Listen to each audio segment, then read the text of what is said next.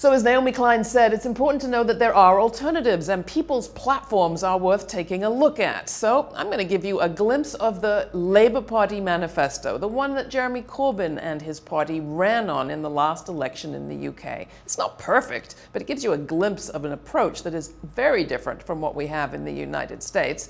This is the part about sustainable energy. Take a listen.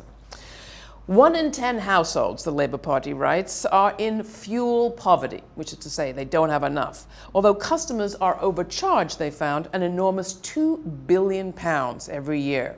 Labour, they write, understands that many people don't have time to shop around. They just want reliable and affordable energy.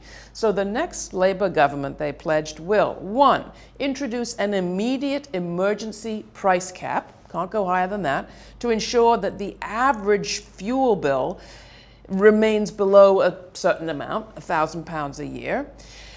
They'll transition to a fairer bill paying system for bill payers, and they'll take energy back into public ownership.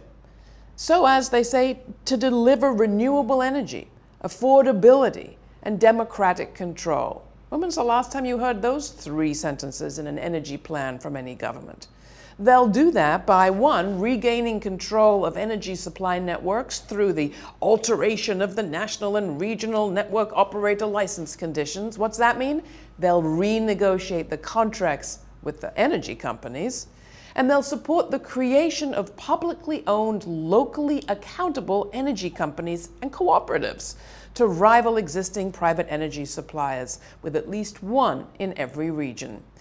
They go on further to say that they will legislate to permit publicly owned local companies to purchase the regional grid infrastructure and to ensure that national and regional grid infrastructure is brought into public ownership over time. This is about a massive remunicipalization of things that had been privatized in the past. And it's exactly what cities in this country are just beginning to think about. In Boulder, Colorado, the people a few years back put on the ballot an initiative to take their local energy company, the Xcel Energy Corporation, back into private ownership because they weren't moving fast enough to transition to renewables.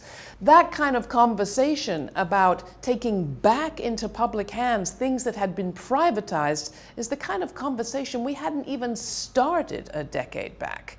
So let's hear it for the Labour Party and let's hear it for alternatives. You can find out more and read the entire Labour manifesto at our website, and we'll put a link there too to the LEAP manifesto that Naomi Klein talked about.